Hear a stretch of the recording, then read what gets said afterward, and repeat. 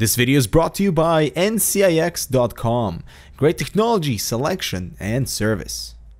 Hey guys, Eba here with Hardware Canucks, and Chromebooks are meant to serve as a portable, affordable solution for students and professionals who spend most of their productive time on the web. We have Acer today taking a slightly different approach with the Chromebook 15, a 15-inch notebook that starts at $300, and it is meant for a more stationary use as an alternative to a more portable 13-inch that we reviewed recently. The main question still remains, is there a place for a 15-inch Chromebook? Let's find out. At 5 pounds, the Chromebook feels appropriate for the size, and while it's not ideal for on the go, it's much better suited for spending more time on the desk. The slim profile should fit backpacks no problem, and the build is acceptable, and by that I mean the premium plastic material throughout the chassis feels solid. The front and bottom parts of the Chromebook have these fabric textured finish that looks and feels great. Seriously, for $300, this has surpassed my expectations. Also do note that the Chromebook 15 comes in a black variant. Uh, the white sample we had did show signs of stain after some use. Our model here comes with a 5th gen dual-core Celeron CPU clocked at 1.5 GHz, 4GB of RAM and a 16GB SSD. A 32GB model is available, and while it is still limiting, Acer includes a free access to 100GB of Google Drive for 2 years to compensate. On the right side of the Chromebook, we have a Kensington lock, USB 2.0 port, and a card reader. Switching over to the left, we find an HDMI port, a USB 3.0 port, along with the headphone microphone combo jack, and on the front, there is an exhaust vent to cool the Chromebook 15. The 15.6 inch 1920 by 1080 display is a pleasure to look at. It's an IPS panel with great viewing angles and contrast ratio. The colors did look a little oversaturated, but it is nothing to be worried about. For $300, this is perfect for watching movies with your friends and family, and the screen frame on the Chromebook maintains that excellent structural integrity. There's also an option to change the resolution all the way up to 2160 by 1215, which gives you more screen real estate, but the text doesn't look sharper compared to 1080p, and we aren't even sure why there's an option in the first place. A 720p webcam is fine for video chat and I have no complaints there. The keyboard layout is pretty standard for a Chromebook.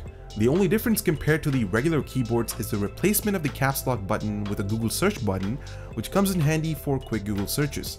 You could swap it for a caps lock function so that's nice to see.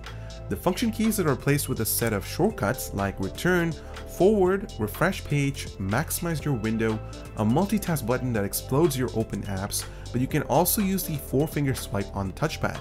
There are also brightness and volume controls. Typing on the Chromebook 15 was a pleasure. The tactile response on the keys was excellent, but the keys are made out of some cheap plastic material, which isn't too bad, uh, but if you heavily rely on the Chromebook for a lot of correspondence like email, schoolwork, Google Docs, etc., uh, it'll get the job done. The touchpad is okay. Some of the things I like about it is the touch surface which is smooth, and the responsiveness is on point. However, the zoom functionality was missing and the primary left and right buttons required a tiny bit of pressure to press and I wasn't satisfied with the tactile response of these buttons. Performance in the Chromebook 15 is satisfactory thanks to the 64-bit dual-core Intel CPU with 4GB of RAM. This machine can easily handle multiple tabs without any hiccups. There's still some struggle with 4K video playback, however Acer makes it up with an outstanding wireless performance thanks to the dual-band AC wireless adapter. The battery life on the Chromebook 15 is moderate with its 5 hours and 4 minutes in a heavy usage scenario with video playback and surfing the web. The full recharge time is a little slow, taking up about 2 hours to 100%. Moving on to the speakers, they are simply amazing. By far one of the most impressive at this price point. The two speaker grills are perfectly placed beside the keyboard for the best sound projection. They do get loud, I mean really loud. It's perfect for watching movies, listening to Spotify, and much more.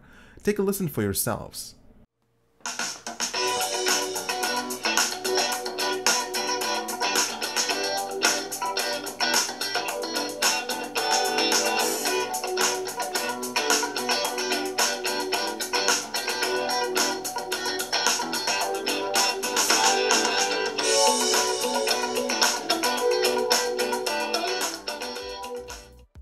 Chrome OS is a unique operating system that's targeted towards users who rely on getting work done on the web.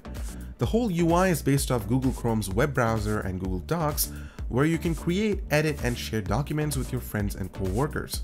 It's simple and very easy to use. If you're interested in checking out Chrome OS for the first time, I will guarantee you you'll find your way through the operating system right away. It boots up super fast, there's a growing number of apps for offline work, and the OS is evolving to become a proper productivity tool. And Acer here has created an excellent all-round package for $300 with a solid build, fine IPS 1080p display, fast performance along with those exceptionally loud speakers. If you don't mind the 15-inch form factor, it's actually a pretty good machine, and we're giving it the Canucks Damn Good Value Award. Let us know your thoughts on the Chromebook 15. Is it something that you would consider checking out? Give us a like if you'd want us to compare it against the Chromebook 11 and 13. Don't forget to subscribe for more similar content, and we'll see you in the next one.